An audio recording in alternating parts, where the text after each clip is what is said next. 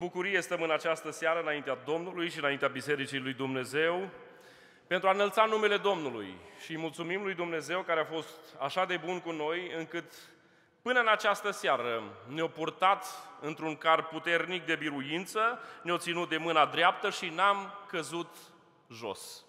Dacă am căzut, El ne-a ridicat, ne-a întărit și ne-a ajutat să mergem mai departe.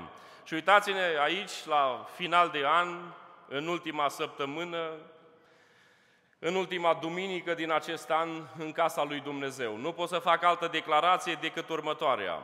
Dumnezeu este Dumnezeul nostru și merită toată închinarea și toată cinstea. Pentru această seară m-am gândit la un text din Scriptură, Luca, capitolul 13, vreau să citesc primele cinci versete, am tot fost frământat așa la ce mesaj să aduc înaintea dumneavoastră. Mă gândeam să aduc ceva despre nașterea Domnului, dar având în vedere că a fost program și joi și vineri la dumneavoastră și dimineață, n-aș vrea nici să vă cadă greu acest mesaj al nașterii Domnului. Haideți să vorbim despre ceva ce să aducă retrospecție în viața noastră, să ne uităm în urmă și să vedem în anul acesta ce a făcut Dumnezeu pentru noi. Este drept, începea seara aceasta și spuneau frații că a fost un an dificil, a fost un an greu, a fost un an prin care n-a mai trecut niciunul dintre noi și niște etape din viața noastră ce nu anticipam că o să trecem prin ele. Nu ne-am gândit la toate acestea. Nu ne-am gândit că un virus poate să facă atâta de multă ordine sau dezordine în viețile noastre și în Biserica lui Dumnezeu. N-am crezut că o asemenea etapă poate aduce Dumnezeu în viața noastră încât să ne redefinească aproape toate valorile pe care le aveam și să ne reașeze pe niște valori spirituale, mă gândesc, valori ale lui Dumnezeu, ale împărăției lui Dumnezeu. Dar această seară aș vrea să plec de la acest text și voi dezvolta mesajul meu. Haideți să ne ridicăm în picioare. În Luca, capitolul 13, de la versetul 1 până la versetul 5, voi citi cuvântul lui Dumnezeu. În vremea aceea au venit unii și au istorisit lui Isus ce se întâmplase unor galileieni, al căror sânge l-amestecase Pilat cu jerfele lor. Credeți voi, le-a răspuns Iisus, că acești galileieni au fost mai păcătoși decât toți ceilalți galileieni pentru că au pățit astfel? Eu vă spun nu, ci dacă nu vă pocăiți, toți veți speri la fel. Sau acei 18 inși peste care a căzut turnul din Siloam și i-a omorât, credeți că au fost mai păcătoși decât toți ceilalți oameni care locuiau în Ierusalim? Eu vă spun nu, ci dacă nu vă pocăiți, toți veți speri la fel, amin. Puteți să vă reașezați. Când în viața unor oameni apar necazurile și suferințele, în mintea celor oameni, și acei oameni putem fi noi în această zi, se înalță, se ridică tot felul de întrebări. De ce îngăduie Dumnezeu suferința? De ce aduce Dumnezeu în viața noastră etape de felul acesta? De ce trebuie să plângem atâta pe calea lui Dumnezeu? De ce trebuie să suferim niște pierderi și unele dintre ele poate că iremediabile? De ce, de ce și de ce? Și parcă la toate aceste întrebări nu găsim răspuns ca oameni. Sau dacă găsim un răspuns ca oameni pe pământul acesta, ne dăm seama mai târziu că nu ne aduce împlinire răspunsul ăla, nu ne aduce satisfacție, nu rezolvă problema. Problema rămâne acolo. Chiar dacă ne răspundem într-un fel sau altul, problema rămâne acolo. Sunt foarte multe întrebări ce s-au lansat în lumea noastră, care de care mai importante. Aș vrea să aduc în atenția dumneavoastră una dintre cele mai importante, zic eu, întrebări ce o măcinat mintea oamenilor din generații la rând, una după alta. Știți care este această întrebare? De ce se întâmplă lucruri rele oamenilor buni? Merg peste tot, în stânga și în dreapta și stau de vorbă cu oameni și mă mai oprește câte unul și frate Andrei, nu-i normal ce se întâmplă. Dar zic, de ce nu-i normal și ce se întâmplă? Zice, omul ăsta de la noi din biserică este excepțional, este extraordinar. Un om al lui Dumnezeu, un om cu mărturie, un om cu credință vie în Dumnezeu. Uite ce i s-a întâmplat. Nu-i normal. Dacă s-ar fi întâmplat la altcineva, care poate că nu atinge standardul acestui om, nu ne-am fi mirat deloc.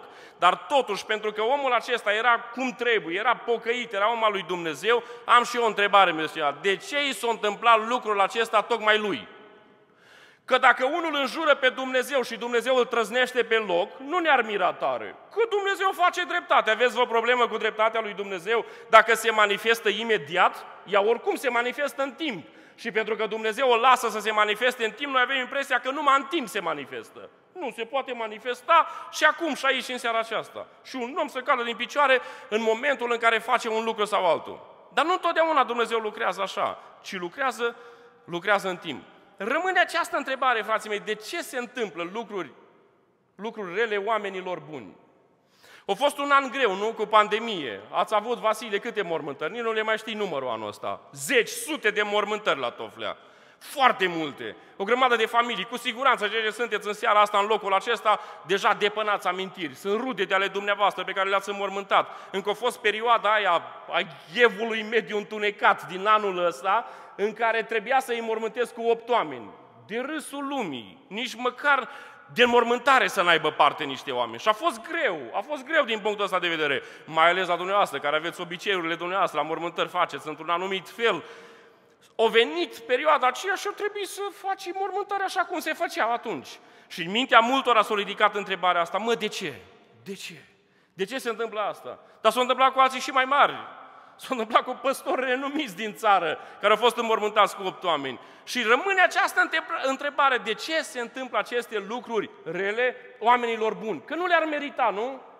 Nu le-ar merita aceste lucruri. La omul bun, ce ar trebui să îi se întâmple? Lucruri bune. E normal să se întâmple lucruri bune. Ei, niște oameni s-au luat de mână și s-au dus înaintea Mântuitorului, înaintea Domnului Isus Hristos. Și zice, învățătorule, avem o întrebare niște oameni, niște galileieni au venit la Ierusalim, că aici e centrul închinării.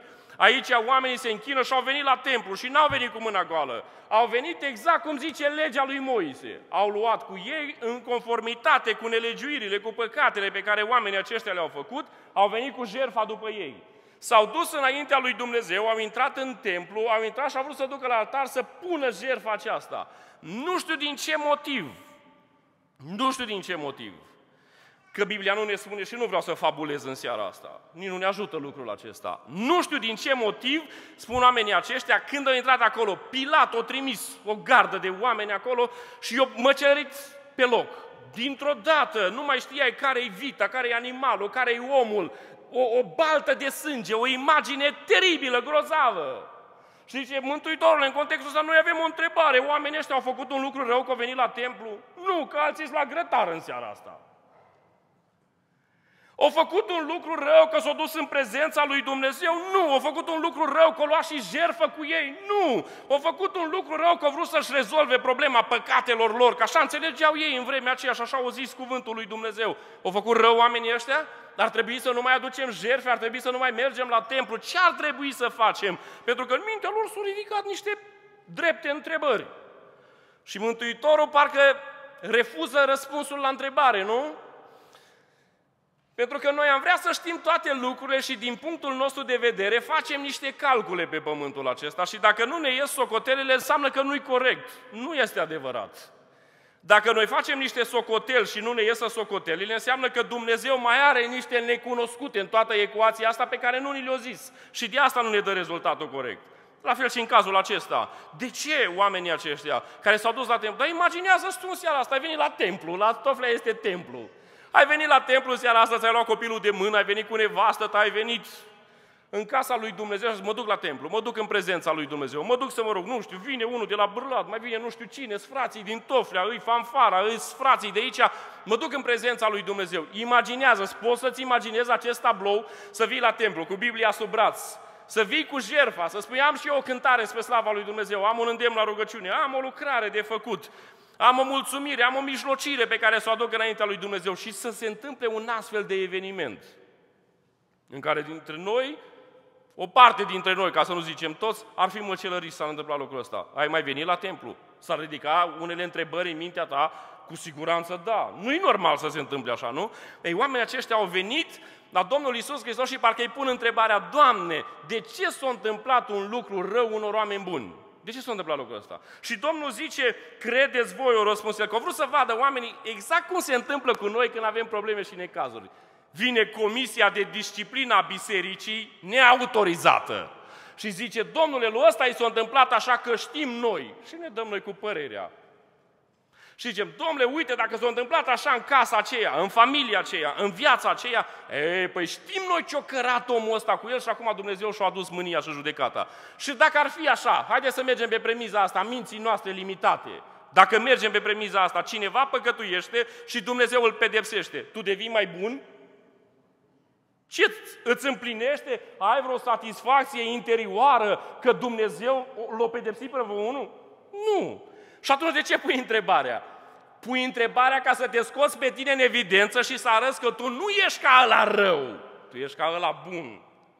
Tu ești mai bun decât el. Și intervine comparația și gradul acesta de comparație. Nu sunt ca el, eu sunt diferit. Și Domnul zice, haideți să vă spun cum stau lucrurile. Vreți să vă spun cum stau lucrurile? Vă zic cum stau lucrurile. Ei, oamenii aceștia, galileienii aceștia, am o întrebare pentru voi, că vouă vă place comparația și să, vă, să vedeți care e mai bun. Zice, voi credeți că toți ăia din Galileea, ăștia erau cei mai, răi, cei mai răi din Galileea? Nu. Nu, dar mesajul e altul. Dar zice, vă mai zic o întâmplare ce, ce, s-a, ce s-a petrecut aici, aproape de noi, zice Domnul. Știți turnul din Siloam? Dar cum să nu știm? Era un turn celebru, nu? De, de asta știau și de asta îl iau oamenii ca referință. Știți acest turn? Da. 18 oameni, poate că erau și mai mulți. Iarăși nu știm și iarăși nu ne dăm cu părerea dacă nu știm. 18 oameni, zice, erau acolo, vor fi fost și alții. Și ce au gândit oamenii aceștia? Au vrut să dărâme turnul acela al siloamului. Da, dar nu era cum e, cum e în perioada asta. Să te duci să pui explozibil să, de pe o telecomandă și să cadă turnul. Nu era așa. Și oamenii s-au apucat la săpat și au început să sape și metoda de dărâmare a turnurilor în vremea aceea era aceasta, săpai și mai puneai apă ca să se înmoaie pământul. Și înmuindu-se pământul, turnul ăla se înclina și la un moment dat cădea jos, că n-avea altă soluție. Și oamenii ăștia s-au apucat de treabă. Încet, încet, de acolo și în timp ce făceau lucrul acesta, din neatenție, poate că, din neveghere, zicem noi, că noi trebuie să explicăm tot ce zice Scriptura. Dar de ce trebuie să explicăm tot ce zice Scriptura? Că Scriptura trebuie crezută, nu explicată și interpretată și reinterpretată și tălmăcită și retălmăcită ca să nu mai credem nimic din ea. Așa zice, așa o luăm, că e pentru noi, este cuvântul lui Dumnezeu. Și Domnul zice, în timp ce oamenii ăștia făceau lucrul acesta, dintr-o dată, din neatenție, s-a înclinat turnul acela, 18 oameni au fost prinși sub acel turn și au murit pe loc. Și Domnul vine și zice, așa că vă doare inima de aia 18. Da, Doamne, săracii dintre ei, aveau familie acasă, aveau copii, aveau... Și noi empatizăm și până la un punct nu-i rău să empatizezi cu oamenii, să iubești oamenii, să, la tragedii, la situații din acestea, doar nu poți să stai așa, să, grija asta oameni, nu mă interesează, să fie sănătos. Nu putem trăi așa. Dar totuși, Domnul vine și zice, îți pare rău de oamenii ăștia? Da. Te interesează? Da. Dar de tine nu te interesează? De ce ești tu înaintea lui Dumnezeu? Nu te interesează. De ce s-a întâmplat lor ce li s-a întâmplat? Mă socotesc eu cu ei, vrea să zică Dumnezeu. Dar n-ai vrea să ne socotim noi doi, parcă zice Dumnezeu în seara asta. N-ai vrea să te socotești cu Dumnezeu la final de an. N-ai vrea să spui în cântarul lui Dumnezeu, nu al nostru, al lui Dumnezeu, să spui un pic viața și să vezi, să spui un pic slujirea și să vezi, să spui familia și să vezi, să spui afacerea, că unii dintre voi sunteți afaceri și să vezi nu dacă e pe profit sau dacă nu e pe profit. Dacă e cu Domnul sau fără Domnul, despre asta e vorba. Că aici se joacă meciul vieții noastre. Și noi avem tot felul de întrebări și normal că vine această întrebare, de ce s-a întâmplat aceste lucruri rele acestor oameni? Că noi credem că erau buni. Făceau un lucru bun. Nu erau oamenii aceștia, erau alții mai răi și în vremea aia. Alții care stăteau în cârciumă nu au murit. Și ăștia care s-au dus la templu au murit. Așa că se ridică și în mintea ta această întrebare? De ce se întâmplă lucruri rele oamenilor buni, ar fi o concluzie să spunem în ziua asta, în seara asta, că Dumnezeu nu-i drept. Putem să zicem asta. Acum eu n-am venit de la Bârlasă, la Toflea să iau apărarea lui Dumnezeu, să spun, băi, oameni buni, Dumnezeu e drept. Biblia zice că e drept. Dacă tu crezi că nu-i drept în această seară, poți să crezi cum vrei dumitale. Eu nu am venit nici să schimb crezul tău în această seară. Eu am venit să-ți prezint acest text din partea lui Dumnezeu. Crezi că Dumnezeu nu-i drept și de asta se întâmplă lucruri rele oamenilor buni? Poate fi o variantă. O analizăm și vedem dacă este adevărată. Altcineva s-ar putea să spună, domnule, Dumnezeu nu-i bun. Că dacă ar fi bun, și-ar manifesta bunătatea, și-ar arăta bunătatea. Însă atâtea familii care trec prin drame teribile. Unde-i bunătatea lui Dumnezeu? Unde-i Dumnezeu în toată povestea asta? O, un alt răspuns la această întrebare poate fi următorul. Mi se pare mie că Dumnezeu a scăpat lucrurile de sub control. Sunt oameni care cred asta. Cu pandemia, cu tot ce se întâmplă în România în vremurile acestea și în lumea întreagă, că nu numai în România se întâmplă asta, oamenii au impresia că Dumnezeu a scăpat lucrurile de sub control. Bă, este o variantă. Le-o fi scăpat, le ține, Biblia zice ceva, dar nu toată lumea crede Biblia. Mie îmi place să spun ce zice Biblia, dar sunt oameni care nu cred ce zice Biblia și ei în seara asta ar putea justifica prin rațiunea lor, prin mintea lor, prin intelectul lor, prin sistemul lor de valori că Dumnezeu a scăpat lucrurile de sub control, că nu-i bun, că nu-i drept, că nu știe ce face. Oameni buni, poate fi și asta, dacă tu zici, dar noi vrea să ne apropiem de Scriptură și de Dumnezeu și să vedem ce zice Scriptura? Cum era întrebarea din această seară? De ce se întâmplă lucruri rele oamenilor buni. Haideți să vă duc la Scriptură, la Cuvântul lui Dumnezeu. Merge un om înaintea Mântuitorului, în vreme ce era pe pământ. Se duce înaintea lui alergând, îngenunchează și se închină. Și are o întrebare. Zice, bunule învățător, și din start Domnul zice, stop, oprește-te. Dar cu ce am greșit? Zice, hai să-ți spun, bun e unul singur, Dumnezeu. Dar eu vă întreb în seara asta, Iisus Hristos nu era bun? Și de ce zice că bun e unul singur? Dumnezeu. Iisus Hristos când era pe pământ, nu era Dumnezeu, era Dumnezeu 100%. Și atunci de ce zice că bun e unul singur? Dumnezeu. Pentru că în timp ce Hristos era pe pământ, El lua toată slava pe care oamenii o aduceau la El și o atribuia lui Dumnezeu Tatăl. Și zice, nu vă uitați la mine, uitați-vă la El. Bun nu sunt eu, bun e El. Deși era bun 100% Domnul.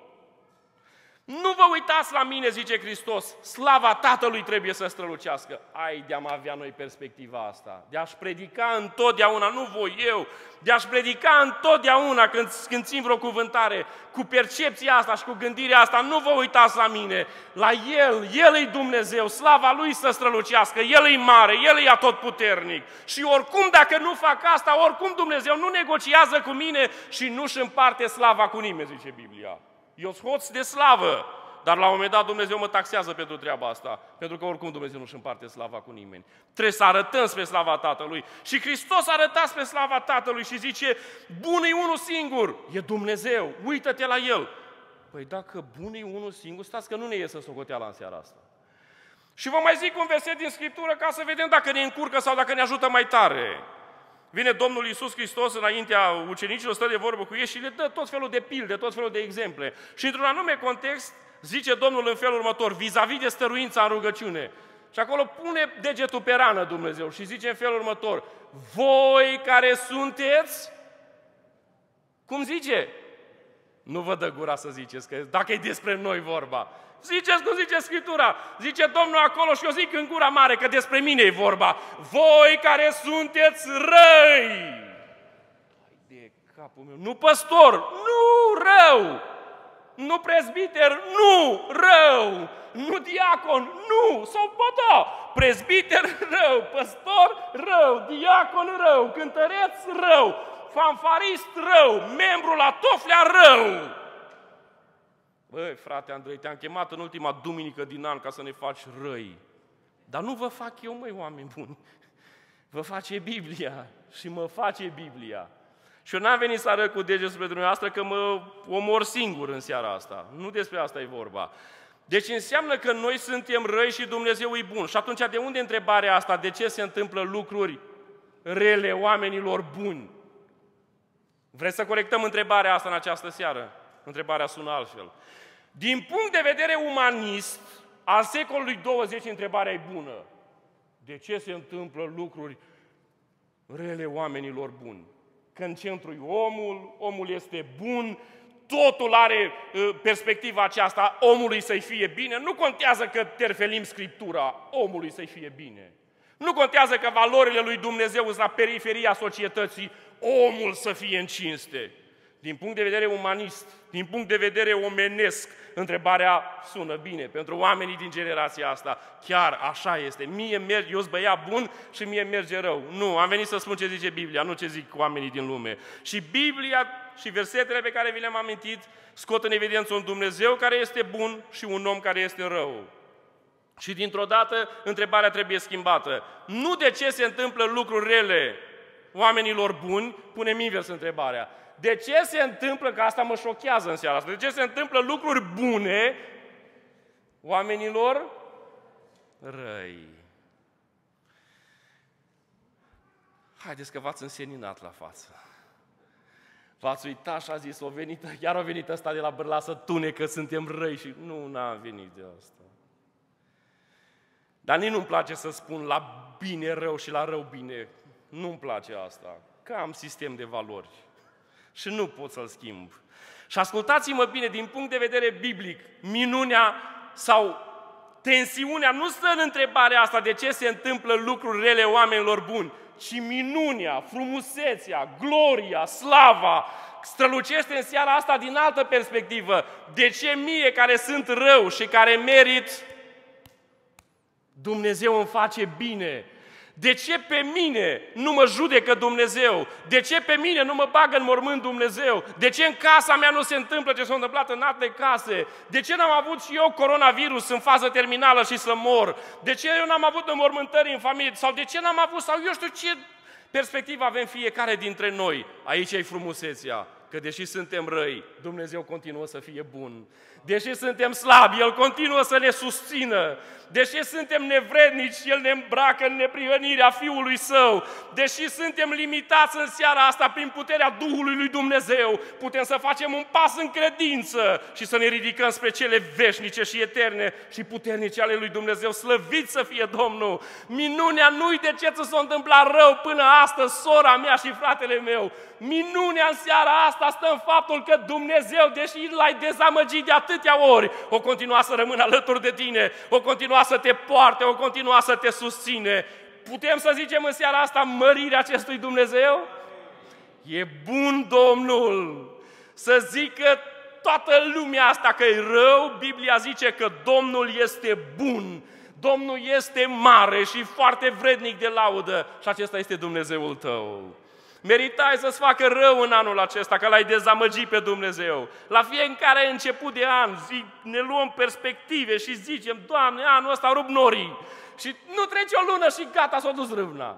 Exact cum zicem profeții mici, e vla, râvna noastră e ca, ca norul ăla care se arată dimineață sau ca roua aia care apare puțin el și se duce. Și la sfârșitul lui, lui, lui ianuarie, că în ianuarie nu merge nimic, dar la sfârșitul lui, lui ianuarie se dau drumul la afaceri și gata, am uitat și s-a terminat. Și am uitat ce i-am promis Domnului și am uitat. Și Domnul zice, vezi că anul ăsta ai promis. Vezi că mai ai 3-4 zile să se termină. Și intrăm la socoteală, intrăm să vedem ce ai zis tu și ce am zis eu. Și să vedem dacă eu m-am ținut de cuvânt și tu te-ai ținut de cuvânt. Nu-i minunat Dumnezeul nostru, care deși meritam rău, El ne-a făcut bine? De ce se întâmplă lucruri bune oamenilor răi, oamenilor ca mine și ca dumneavoastră? Haideți să vă dau câteva răspunsuri în această seară. În primul rând, dacă ți se întâmplă ceva bine, diferit de ce meriți, diferit de ceea ce ești, și tu știi ce meriți, eu știu ce merit, dacă se întâmplă lucruri bune oamenilor răi, există o singură perspectivă. Știți care este? Dumnezeu nu-i om. Biserică din Toflea, dacă încă Dumnezeu se poartă cu noi, cu o dragoste care întrece înțelepciunea și capacitatea umană, e pentru că Dumnezeu nu-i om. Am un prieten și un frate cu care stau de vorbă foarte des și a avut o perioadă din viața lui prin care a trecut printr-un cuptor extraordinar de greu. De mai multe ori, dar în timpul acesta o trecut așa prin niște valuri groaznice. Și stăteam de vorbă cu el și îl întrebam, frate, cum e? Ce faci? Zice frate Andrei, un singur lucru mă ține în picioare. Știi care e lucrul ăla? Zice, fac o declarație. Dumnezeu nu-i Dumnezeu nu-i om. Dar de ce zice asta? Pentru că omul te uită, omul te poate abandona, omul te poate lăsa, dar Dumnezeu, zice, a fost alături de mine. Dumnezeu a susținut viața mea, Dumnezeu a condus viața mea. Să țină minte fiecare om care se întâmplă ceva bun în viața lui că Dumnezeu nu-i om. De asta se întâmplă bine. Că dacă era ca mine și ca tine la rău, noi răspundem cu, cu rău. Dar Dumnezeu care nu-i din aceeași plămădeală cum sunt eu făcut, Dumnezeu care e sfânt, Dumnezeu care e atotputernic, se comportă diferit. Dumnezeu nu-i om în necazuri, în strâmtorări. Să-ți iei mesajul acesta cu tine. În anul 2021, să ții minte ceva. Dumnezeu nu-i om. Zice Scriptura că noi, chiar dacă suntem necredincioși, credeți că Dumnezeu se ia după noi? Dumnezeu rămâne credincios, Dumnezeu rămâne statornic în făgăduințele, în promisiunile sale. Ține minte acest adevăr, Dumnezeu nu-i om. Prinde-te de acest adevăr, va veni furtuna peste casa ta și peste familia ta. Prinde-te de acest adevăr care nu se schimbă de la o zi la alta. Este etern și veșnic. Iisus Hristos este același ieri, azi și cât mai ține pământul ăsta în vecii vecilor. Iisus Hristos nu se mută, nu se schimbă, în El nu este mutare, nu este schimbare, nu este umbră de mutare. Ce-o zis face? Ce-o zis împlinește. Înțelege în această zi că dacă lucruri bune se întâmplă în viețile noastre, înseamnă că Dumnezeu nu îi om, Dumnezeu e diferit de noi. Câtă imparțialitate la Dumnezeu, Oameni buni sunt șocați de câtă imparțialitate la Dumnezeu. Zice Biblia în felul următor, El face să răsoară soarele său și peste cel bun și peste cel rău. Și trimite ploaia sa, sau indiferent cum este pus în text acolo, și peste cel drept și peste cel... De ce face asta? Știți de ce? Că nu-i om, că-i Dumnezeu, că noi nu dădeam, ăștia nu merită ploaie, ăștia nu merită binecuvântare, ăștia nu merită, ăștia nu merită. Sunt oameni din lume care în fiecare zi, oameni buni, se împotrivesc lui Dumnezeu și Dumnezeu continuă să-i susțină, continuă să fie alături de ei, continuă să-i po- să le poarte de grijă. De ce? Că Dumnezeu nu-i om. Un singur răspuns. Dumnezeu nu-i om. Dumnezeu nu face cum fac eu, Dumnezeu nu face cum faci tu. El este Dumnezeu, slăvit să fie numele Lui. Dacă ceva bun s-a întâmplat anul acesta, în 2020, în viața ta, haideți că nu a fost așa de negru anul ăsta. Nu-l înnegriți mai, mai mult decât trebuie. Era negru dacă nu mai era în casa lui Dumnezeu, era negru dacă ce știu eu să întâmpla zilele acestea. O fost greu și recunosc asta și nu minimalizez durerea și necazul fraților mei și a surorilor mele. Acum două zile am fost la un băiat de 26 de ani la mormântare, după două zile am fost la altul de 35 de ani la mormântare. E drept, trecem prin niște faze în care nu avem răspuns la toate lucrurile acestea. Se uită familia la noi și așteaptă un cuvânt. Și mă uit în ultima perioadă și mi-ar plăcea să le dau un răspuns. Ce să le zic, oameni buni? Că ce? Dar un singur adevăr rămâne în picioare. Și când înmormântăm pe cei dragi ai noștri, și când pierdem sume mari de bani, și când viața asta ne întoarce spatele și parcă totul e contra, rămâne un adevăr. Dumnezeu nu-i om. Să știe toată toflea. Dacă se schimbă conducerea țării, dacă se schimbă ce s-ar schimba în lumea asta, dacă vine Uniunea Europeană peste noi cu tot felul de legi, cineva nu se schimbă, ăla e Dumnezeu, el nu-i om.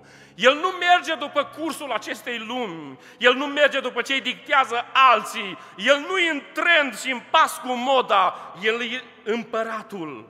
El are legi proprii, împărăția sa are legi proprii, legi interne de care Dumnezeu ține cont de ele. Poate să zică oamenii ce or zice, poate să facă oamenii ce or face, că vine un alt val, că virusul ăsta suferă mutații, că deja m-am săturat eu ca slujitor de telenovela asta, ieftină și de doi bani. Nu moare nimeni decât când vrea Dumnezeu să moară, asta să fie clar. Și nu face virusul ăsta ce vrea el, decât ce vrea Dumnezeu să facă cu noi. Aia se întâmplă și aia va fi. De ce te temi? Și de ce nu te temi de Dumnezeul care într-o secundă poate să-ți ia suflarea?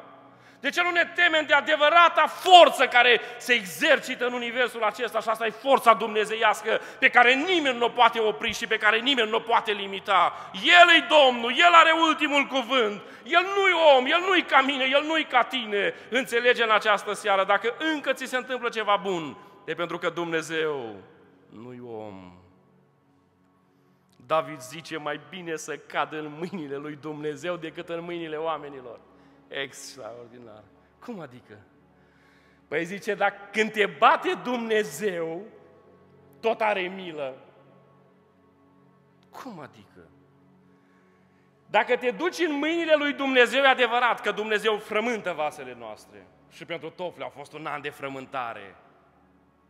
Pe ce credeați că sunteți vase de pus în vitrină la expoziție? Frământare. Biserica din Tofle au trecut prin frământare. Da, că Domnul vrea să vă dea formă. Ăsta e răspunsul. Și o altă formă, mai frumoasă, mai dinamică, mai glorioasă. Nu vă întrebați de ce. Că Dumnezeu știe ce face. Întrebați-vă dacă sunteți în voia lui Dumnezeu, că atâta vreme cât ești în voia lui Dumnezeu, e bine, e bine, e frământare, e luptă, știu. Dar voi credeți că vasul meu e vas de vitrină? Ai de viața mea! Pe unde mă poartă și pe mine Dumnezeu, pe unde mă coboară, pe unde mă ridică. Mai aud câteodată behăitul oilor din spate, că ai auzit de fratele Andrei? Mi-aș face cruce cu amândouă mâinile, dar nu pot, că mă împleticesc. Deci aud despre mine. Voi credeți că suntem de vitrină? În lume suntem o țintă clară. Cei triți că și în biserică devenim ținte pentru unii și pentru alții. Și tot felul de partide și de lupte și de lucruri care n-au nicio treabă cu Scriptura și cu Dumnezeu. Dar orice ar fi în biserica lui Dumnezeu, trebuie să înțelegi ceva. Dumnezeu nu-i om. Vine ziua adevărului și vine ziua dreptății pentru fiecare viață și pentru fiecare inimă. Și dacă aparent mie merge bine și sunt nepocăit și tu te uiți la mine și zici, uite că Dumnezeu nu intervine, vine ziua dreptății. Vine ziua adevărului, vine ziua în care războinicul își încinge sabia și se ridică în picioare și are ultimul cuvânt și face dreptate aleșilor săi, care strigă către el zi și noapte. El vede lacrima din odăiță, el vede inima tăiată, el vede zdruncilul din viața ta, El vede că nu mai ai răspunsuri și soluții, El vede toate astea. Tu ai venit în seara asta și zici Crăciun fericit și inima ți distrusă. Nu-i problemă, eu nu o văd, dar Dumnezeu o vede și are un mesaj în seara asta pentru tine. Eu nu sunt om, eu nu mă schimb, eu nu mă dau cu unul, cu altul, în stânga și în dreapta. Eu nu sunt liberal și nici conservator, eu sunt Dumnezeu. Eu nu zici de la București, nici de la Suceava, eu sunt Dumnezeu, zice Dumnezeu. Nu-s nici ardelean, nu-s nici moldovean, sunt Dumnezeu. Nu-i nici român, nu-i nici țigan, îi Dumnezeu. Și rămâne același. Să se schimbe toată lumea asta cum o vrea ea. Să se schimbe legile în Uniunea Europeană. Dumnezeu rămâne Dumnezeu. Te vei duce în Anglia înapoi, te vei duce în Germania, de unde ai venit. Ține minte adevărul acesta. Domnul este Dumnezeu. Un singur adevăr mă ține în picioare în 2021, că vin oameni și mă întreabă ce va fi, cu vaccin sau fără vaccin, cu probleme. Nu știu, un lucru știu. Dumnezeu e Dumnezeu. Va rămânea pe tron ca cu potopul. Dumnezeu era pe tron. Pe tronul istoriei rămâne Dumnezeu. Când oamenii se schimbă, rămâne Dumnezeu. Când cade turnul siloamului, rămâne Dumnezeu. Când 18 oameni mor și nu avem răspunsul la întrebări, El rămâne Dumnezeu. Când da în templu, alții sunt măcelăriți, El rămâne Dumnezeu. Când făcând binele ești răsplătit cu rău, El rămâne Dumnezeu. El nu se schimbă, El rămâne același. Continuă să lucrezi. Continuă să faci ce te chema Dumnezeu să faci, că Dumnezeu nu se mută și nu se schimbă. E ceva bun la tine acasă? Datorită Lui, pentru că El e Dumnezeu. El nu-i om. Dacă se întâmplă lucruri bune oamenilor răi, ca mine și ca tine, că ar trebui să fim măcelăriți de Dumnezeu, dacă se întâmplă lucruri bune, știți de ce se întâmplă? Pentru că Dumnezeu vrea să transmită un mesaj, vrea să-ți vorbească ceva. Fii sensibil, deschide urechea, ascultă toate simțurile, mai ales auzul, văzul, bineînțeles percepția mentală și duhovnicească conectează la Dumnezeu. Ce vrea Dumnezeu să-mi transmită? Am, am învățat ceva pe drumul credinței. Mă cercetez când se întâmplă ceva rău în casa mea, dar atenție mare ce zic în seara asta. Am început să mă cercetez când se întâmplă ceva bun în casa mea. Pentru că vreau în bunătatea lui Dumnezeu să văd ce mesaj vrea Domnul să-mi transmită. Cum adică? A, când moare un copil, atunci te cercetezi. Da? Nu, când vine o sumă de bani mare în casa ta, cercetează-te. Când, merge, când îți merge bine în stânga și în dreapta, cercetează-te. Atunci cercetează-te. Oricum te cercetezi când moare copilul sau, Doamne ferește, ce lucruri aiurea se mai întâmplă. Dacă când îți merge bine, te cercetezi și pune întrebarea, Doamne, eu nu merit asta, de ce au venit? Nu merit. Alții au pierdut una alta și la mine nu. De ce? Nu merit. Dar știi de ce? Că Dumnezeu vrea să-ți vorbească. Vrea să-ți transmită un mesaj inimii tale, vieții tale, să-ți spună Dumnezeu ceva. Ce vrea Dumnezeu să-ți vorbească? Păi ce zice Dumnezeu în roman? Nu vezi tu, omule, ce să vedem? Că bunătatea lui Dumnezeu te îndeamnă la... Vasile Capitanul, pocăință. Oniță, pocăință. Gheorghe, pocăință. Care mai sunteți aici toți care slujiți pocăință? Mircea, pocăință, altă pocăință. Bă, ne-ați, ne zăpăcit cu pocăința asta. Tot pocăință, pocăință. Și Domnul vine seara asta și zice, credeți voi că există altă soluție? Am venit la Toflea să vă dau soluția. Vreți soluție pentru 2021? Vreți să-ți meargă viața ceas? Vrei să fie Dumnezeu cu tine și cu casa ta? Am soluția în seara asta. Auziți ce zice Dumnezeu? Dacă nu vă pocăiți, toți veți speri la fel. Dar dacă ne pocăim, dar dacă ne pocăim, dacă nu ne pocăim, există soluție. Pedeapsa lui Dumnezeu ar fi în mod natural. Dar dacă ne pocăim, și haideți să, haide să nu intru în joc cu dumneavoastră. Dacă ne pocăim și ne merge tot rău, ce facem? A, păi dacă asta e pocăință, să rămână biserica aici și eu mă duc în treburile mele. Dacă ești mercenar, da, dar dacă ești pocăit, nici foamea, nici setea, nici adâncimile, nici înălțimile, nici necazul, nici stântorările. Cine ne va despărți, striga Pavel, dar nu zice acolo că ălea ne despart, ci zice că toate alea nu au putere să ne despartă de dragostea lui Dumnezeu. Ce-a pus Iisus în inima noastră nu pleacă de acolo, voi oameni buni. Nu poate nimeni să-ți ia. E mesajul lui Dumnezeu prin care îți vorbește. Îți vorbește și în seara asta. Ți s-a întâmplat bine? Am mesaj pentru tine. Vreau să te cercetez, vreau să te uiți în viața ta. Îți vorbește Dumnezeu. Și știi care e soluția? Pocăință. Pocăință, dar pocăință adâncă, nu superficială. Pocăință, nu set de reguli. Pocăință, nu religie. Pocăință, nu vrăjeală. Pocăință, umblare cu Dumnezeu. Trăire în adevăr, căutarea feței lui Dumnezeu. Pocăință reală și adevărată, autentică, după Scriptură. Cum zice Dumnezeu, nu cum zic oamenii. Știți cum ne întreabă oamenii? Zice, frate Andrei, de la cine ai primit pocăința? Întrebarea Iuria. De ce mă întrebi așa? Crezi că eu mă încolonez în spatele unor oameni și a unor seturi de reguli pe care oamenii le pun? Ascultă-mă ce spun. Și la predicile mele s-au pocăit oameni. Dar nu stau ca cu hățurile să-i trag stânga, așa să faci, așa să faci, așa să faci. Știi de ce? Pentru că am Biblia. Am cuvântul lui Dumnezeu, e clar, e pentru mine, e pentru viața mea. O trăiesc și o împlinesc. Și am călăuzire. Și am Duhul lui Dumnezeu în viața mea și știu ce trebuie făcut. A, dar nu întreb pe nimeni. Ba da, întreb, am oameni cu care mă sfătuiesc, bineînțeles. Dar viața noastră trebuie să meargă înainte. Și va trebui să ne ancorăm nu de la cine ai primit. Ce ai primit? Verifică ce ai primit. Verifică dacă ai primit bine. Pe voi înși vă striga Pavel bisericii din Corint, pe voi înși vă încercați-vă și vedeți. Dar nu le zice la început de pocăință. Le zice după ani buni de pocăință, pe voi înși vă zice încercați-vă să vedeți dacă mai sunteți în adunare suntem, dar în credință. Membrii suntem, dar în credință suntem. La biserică venim, dar Domnul vine cu noi. Asta e, asta e valoarea.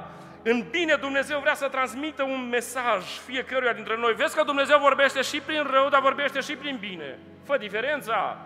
Vezi ce transmite Dumnezeu, ciulește urechile, fii atent. Ce mesaj are Dumnezeu pentru tine și pentru viața ta? Dacă se întâmplă lucruri bune, se întâmplă pentru că Dumnezeu are răbdare cu noi. Frații mei și surorile mele, două lucruri, cred că am mai zis asta, mă repet în seara asta la Toflea. Pe mine două lucruri mă mișcă, dar în mod profund, nu de suprafață. Două lucruri la Dumnezeu mă mișcă și nu le pot înțelege în niciun fel și nu le pot explica. Una este dragostea lui Dumnezeu. Ce să explice aici? Iubirea, iubire, voi oameni. Ați văzut cum ne-a iubit Dumnezeu? În iubire nici nu contează prețul. Iubirea n-are preț. Iubirea n-are preț. Iubirea iubire. Și iubirea se duce până la capăt. Și nu pot înțelege iubirea lui Dumnezeu, dragostea lui Dumnezeu. Și nu mai pot înțelege ceva. Răbdarea lui Dumnezeu nu o înțeleg. Eu sunt om la fel ca dumneavoastră. Imaginează-ți că cineva în fiecare zi zice ceva rău despre tine. Nu știu dacă a trăit vreo unul de aici chestii de astea. În fiecare zi. Dar nu o dată pe zi, de mai multe ori pe zi. Imaginați că Dumnezeu ne crea pe toți și sunt oameni pe, pe, în toflea, aproape de voi, în toflea. Sunt oameni care în fiecare zi, fără excepție, îl înjură pe Dumnezeu. În fiecare zi, fără excepție, de mai multe ori pe zi, de, nici el nu știe de câte ori, îl înjură pe Dumnezeu. Și Dumnezeu are ce are? Răbdare. Și trece un an, doi, 50, știu la cât e unul și bătrân, are 70 de ani. Și după 70 de ani de zile, eu am văzut oameni cu ochii mei, am văzut oameni care la 70 de ani de zile, după o viață de aceasta de care vă zic, au intrat în apă botezul și s-au pocăit. Frații mei, 70 de ani de zile să ai răbdare cu un om, dar nu cu unul care stă cu minte pe bancă, cu unul care te înjură în fiecare zi. Și Dumnezeu care controlează toate lucrurile, știți ce suntem noi? A, dar e mare șervețelul ăsta. Dacă ca să înțelegeți în seara asta. Sunteți noi un șervețel în mâna lui Dumnezeu. Și ce poate să facă? Astăzi, acum și aici suntem în mâna lui Dumnezeu. Într-o zi, ca să se termine cu noi și cu povestea noastră și cu importanța noastră și cu banii noștri și cu casele noastre și cu prestigiul nostru și cu familiile noastre, Dumnezeu atâta face.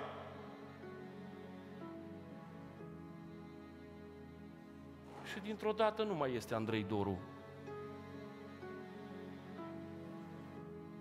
Și nu mai ești nici tu și se termină totul brusc. Se poate termina într-o zi, brusc. Și în prima săptămână își mai aduc aminte frații, în a doua mai vine cineva pe la nevasta, mai aduce ceva, dar după un an de zile îți spun eu, nu mai vine nimeni. Și ce am fost? Și ce suntem? Voi care credeți că sunteți importanți, ce suntem?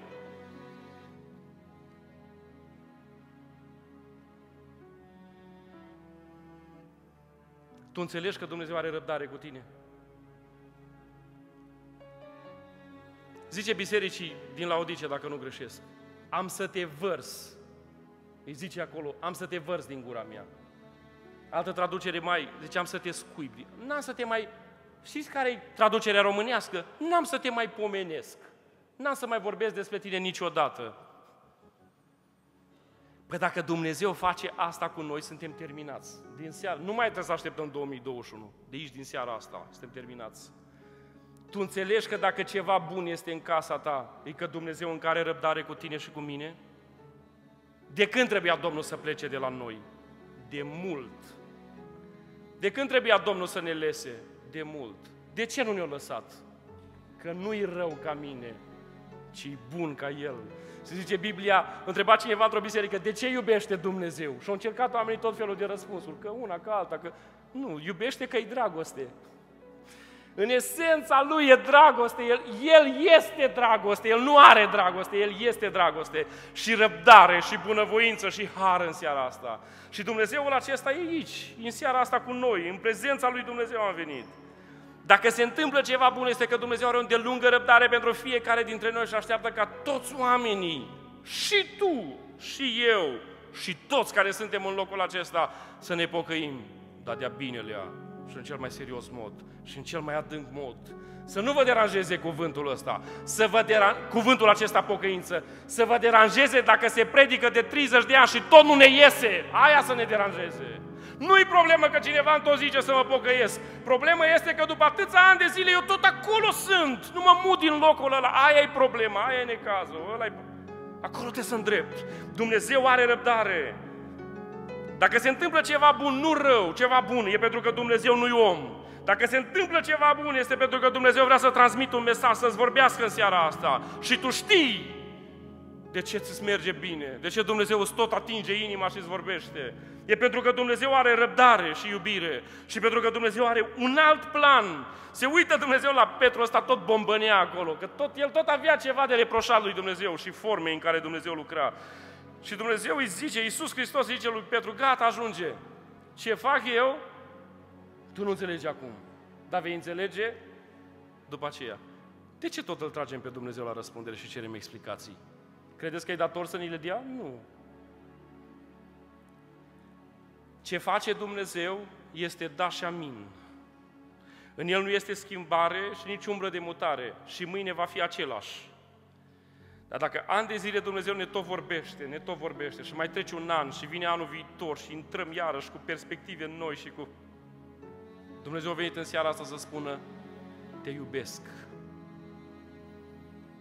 Dar nu zic cuvinte, te iubesc în mod practic și îți dovedesc în fiecare zi. Te trezesc dimineața, îngrijesc de florile din casa ta. Da, la copii mă refer. Îngrijesc de neamurile care ți departe, îngrijesc de toate lucrurile, mă implic, mă interesează și nu de suprafață și nu în mod superficial, ci în mod adânc, profund și real. Ce soluție ai pentru noi, Doamne, în seara asta? Una singură. Pocăință, pocăință, pocăință. Cântam în anii din urmă, pocăință, pocăință, tu ne apropii către cer, unde dragostea e de plină și unde lacrimile pierd. Pocăință, pocăință. N-am venit la tot vrea să vă zic nimic nou, dar am venit la tot vrea să vă spun ce trebuie și ce e necesar. Și va fi un an 2021, nu așteptați nimic de la anul ăsta. Ce aștepți, frate Andrei, de la 2021? Nimic. Nimic. Nu mai aștept nimic. N-ai planuri de viitor? Nu. Nici în anii trecuți n-am avut. Dar nu sunt nici dezamăgit că n-am planuri de viitor. N-ai planuri pe termen lung? Nu, că se schimbă totul într-o săptămână. De ce să fac planuri ca să trăiesc drame și dezamăgiri? Nu mă străduiesc cu ghilimelele de rigoare să rămân în voia lui Dumnezeu, în mâna lui Dumnezeu și în fiecare zi când mă trezesc dimineața am ceva înaintea ochilor mei.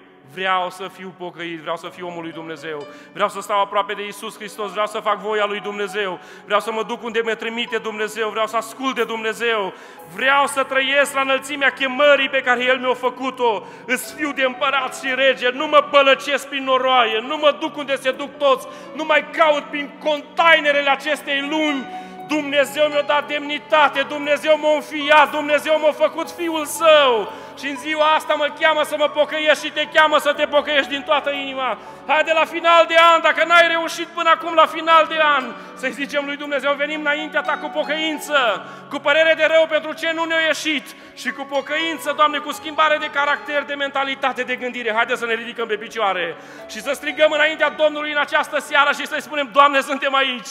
Nu ni s-au întâmplat drame, tragedii, eșecuri mari și falimente. Deși am fost răi, ne-a urmărit bunătatea Ta, ne-a urmărit îndurarea Ta și dragostea Ta și venim în seara asta așa noi simpli, de, așa cum ne știi, venim să ne smerim și să ne pocăim înaintea Ta. Dacă nu vă veți pocăi, striga Domnul, toți veți speri la fel. Dar noi în seara asta, într-un glas aici la Toflea, vrem să-i spunem Domnului, noi ne pocăim, Doamne, noi iubim pocăința, nouă ni dragă pocăința, noi nu trăim pocăința, noi iubim calea Ta, noi iubim legea Domnului, Legea Domnului este semănată adânc în inimile noastre. Noi iubim să împlinim adevărul. Noi nu ne chinuim, frații mei, noi nu ne chinuim să trăim pocăința. Noi ne este drag să slujim pe Hristos. Pentru noi este sensul vieții. Dacă nu l-am mai slujit pe Domnul, nu aș vrea să mă trezesc mâine dimineață dacă nu l-aș mai sluji pe Dumnezeu. Ca să ce să mă trezesc? Să fac ce? El este totul în toți. El este capul bisericii lui Isus Hristos. El Isus Hristos. El este păstorul cel bun. Haideți în seara asta să ne rugăm și să-i spunem, Doamne, venim înaintea Ta. Mulțumim că nu a căzut turnul siloamului pe noi. Mulțumim că n-am fost măcelăriți. Dar asta ne, prin asta ne chem și ne îndemn la pocăință. Și cu hotărâri noi în seara asta venim înaintea Ta să spunem să ai milă de noi. Haideți să ne rugăm cu toții. Tatăl nostru care ești în ceruri,